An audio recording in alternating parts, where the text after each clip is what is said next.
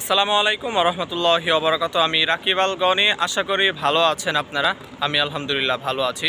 তো বাংলাদেশের নোয়াখালীতে ঘটে যাওয়া ঘটনা নিয়ে আমি রীতিমতো খুবই অবাক হলাম যে, কারণ বাংলাদেশে একজন অটোরিকশা চালক খুব কষ্ট করে তিনি টাকা পয়সা কামান আর করোনা পরিস্থিতিতে মানুষের টাকা পয়সা আসলে খুবই কম। তো সেই সাথে যদি একজন অটোরিকশাওয়ালাকে যদি একজন কর্মকর্তা, অর্থাৎ ট্রাফিক কর্মকর্তা যদি টাকার জন্য তাকে হেনস্থা করা হয়, তখন কেমন হয়?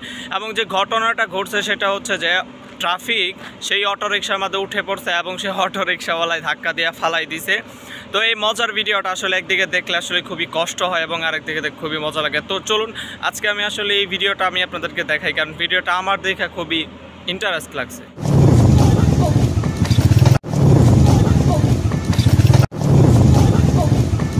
আস্তে আস্তে আস্তে আস্তে।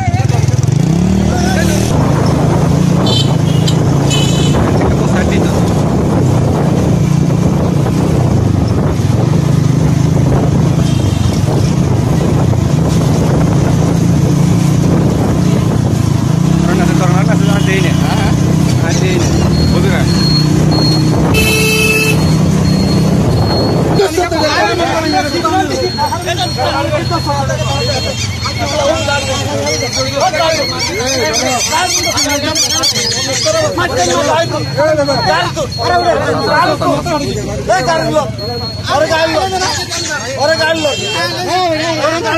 দেখছেন না অবস্থা কি কি অবস্থা? আমরা দেখেছি গাড়ি অবস্থা এই গাড়ি